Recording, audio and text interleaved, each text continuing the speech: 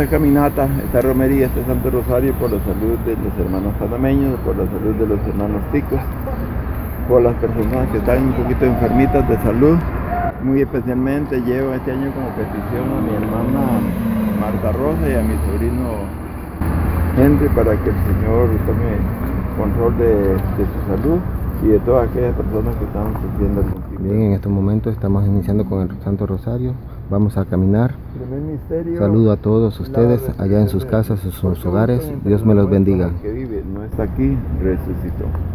Padre nuestro que estás en el cielo, santificado sea tu nombre, venga a nosotros tu reino, haga Señor tu voluntad en la tierra como en el cielo. Danos hoy nuestro pan de cada día, perdona nuestras ofensas, como también nosotros perdonamos a los que nos ofenden. No nos dejes caer en tentación y líbranos de todo mal. Amén.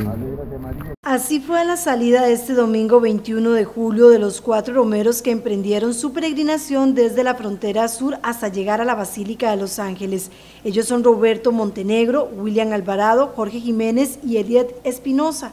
Este lunes salieron desde Ciudad Neily y llegan a Río Claro. Hoy salimos a las 5.55, 5.50 de eh, el templo católico de Villaneili. Por acá nos acompaña mi amigo Eitel. Saludo Eitel. Cuénteme más o menos eh, qué siente. Ya estamos por llegar a, a la parroquia Nuestra Señora de Guadalupe en Río- Claro. felicidad, nada más, y alegría, que Dios nos acompañe y la Virgen de los Ángeles también. Claro que sí, por acá podemos ver el grupo de compañeros que vienen.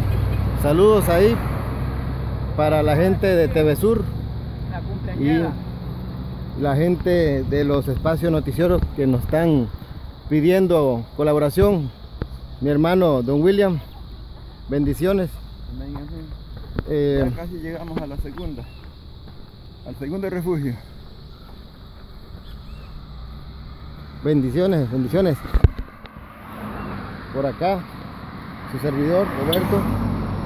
Estamos muy contentos, muy contentos la verdad. Dios nos ha favorecido hoy. Está oculto el sol, no nos está lloviendo. Estamos a escasos kilómetro y medio de, de la parroquia, más o menos de la parroquia Nuestra Señora de Guadalupe en Río Claro. Saludos, Dios me los bendiga. Hoy la intención es orar por todos los enfermos, por los enfermos que están en los hospitales, no tienen familiares, por los enfermos que están en las calles, por los enfermos que están abatidos por la guerra, por los países, por la migración, porque las naciones y nosotros como personas seamos tolerantes y que los que vengan a países extranjeros sean respetuosos.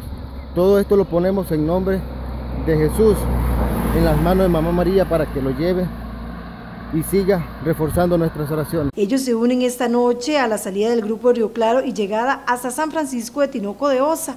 El recorrido comprende 10 días y esperan llegar a los pies de la Negrita el 31 de julio.